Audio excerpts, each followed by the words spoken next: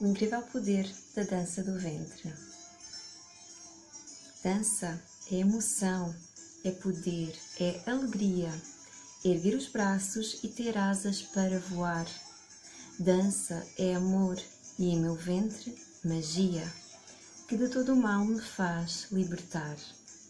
A música veste o corpo com a linguagem da alma, reinventada com ritmo, sinuosa, a dançar, alcancei a calma.